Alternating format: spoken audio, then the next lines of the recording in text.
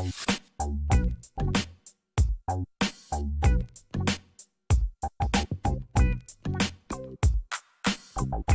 you.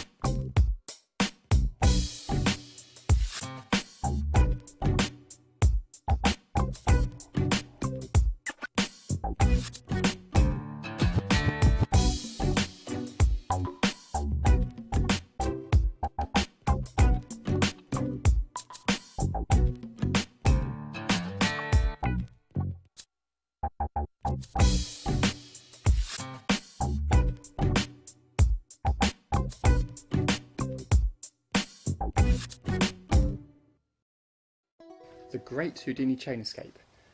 We have a chain, and it's very special because it has two rings on it. One ring at the end, we call it ring number one, and another ring a few inches away, that's ring number two.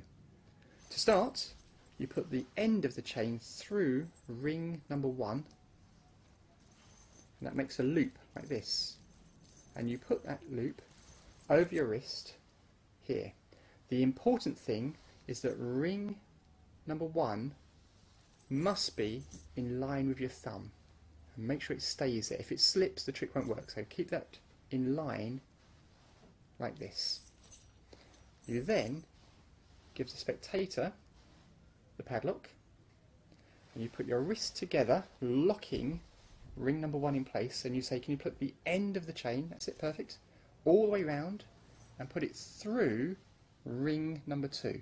Perfect and then pull it back again as tight as you can and put the padlock on the end of the chain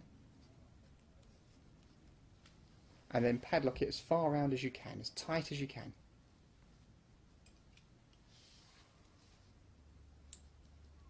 That's perfect. So you can see the padlock is there, completely locked in, but of course you can escape at any time simply by putting your hands together and putting your palms down and that loosens the chain so you can take your hands out as easily as that.